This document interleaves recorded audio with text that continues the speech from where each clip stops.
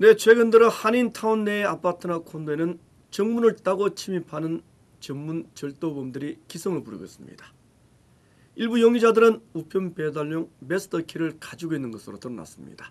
주민들은 매일매일이 불안하다고 하소연하고 있습니다. 영상을 입수했습니다.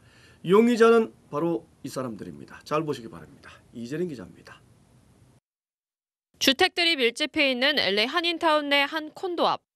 모자를 눌러쓴 한 남성은 망을 보고 다른 한 명은 문을 열기 위해 부산하게 움직입니다. 인터폰이 있는 곳에서 무언가를 하더니 이내 문이 열립니다. 남성은 곧바로 우편물 함 아래에 있던 소포들을 챙기고는 아파트 내부로 들어갑니다. 1층 내부 곳곳을 둘러보고는 2분 뒤 비상문을 이용해 도주합니다. 이들 용의자들은 비상문 알람이 울리지 않도록 배터리까지 빼고 도주하는 치밀함을 보였습니다. USPS um, employees, they just came out and, and replaced the key the following day. 용의자들이 이용한 건 우편 배달용 마스터키. 마스터키로 손쉽게 문을 따고 들어가 소포를 훔쳐 달아난 겁니다.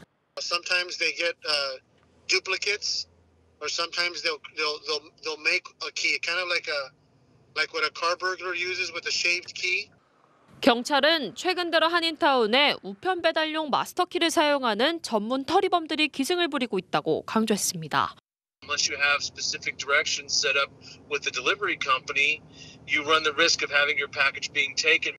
경찰은 히스패닉계와 중동계로 추정되는 용의자 2명의 인상착의를 공개하고 추적 작업을 벌이고 있습니다. LA에서 SBS 이재린입니다.